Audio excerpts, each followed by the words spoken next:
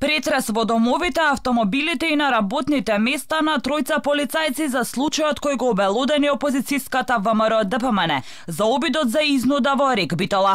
Тројцата полицајци се повикани на разговор во полиција, зашто според неофицијални информации дали информации за новата афера. Од МВР вела дека лицата се повикани на разговор, а потоа заминале дома. Полициски службеници од Одделот за сузбивање на организирани сериозен криминал во координација со јавното обвинителство за гонење на организиран криминал и корупција. Постапува по наредби од судија поради сомнение за сторени кривични дела, одавање службена тајна. По член 360, злоупотреба на државна службена или воена тајна.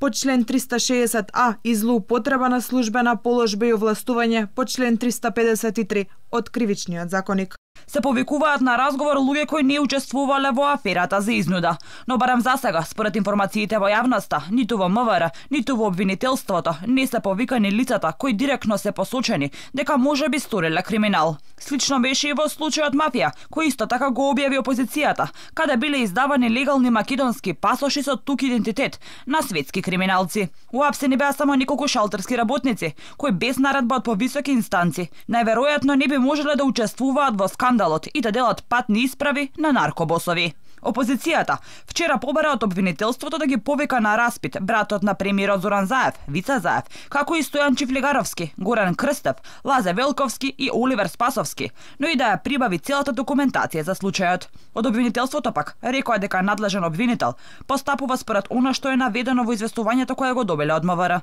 а го повика Мицковски да им достави докази доколку има измени во пријавата. Лидерот на ВМРО ДПМН, која обелудени аферата со Рек Битола, вели дека фирмата Рубитон, која го добила регуларно тендерот за ископ на јаловина, трпела притисоци од екс-директорот на Рек Ковачевски. Од собствениците на битолската фирма на три состаноци било побарано да дадат дел од набавката на СВ Инвест, фирма блиска до семејството заеви. Третиот ден, во присуство на собственикот на компанијата Сево Инвест, повторно Васко Ковачевски го повикува еден од двајцата собственици на компанијата која што ја добива а, јавната набавка и вели не 50, не 75, туку 100% треба да отстапиш, затоа што сега знае следи референдум, имаме определени потреби и ова е а, практично насока од најгоре.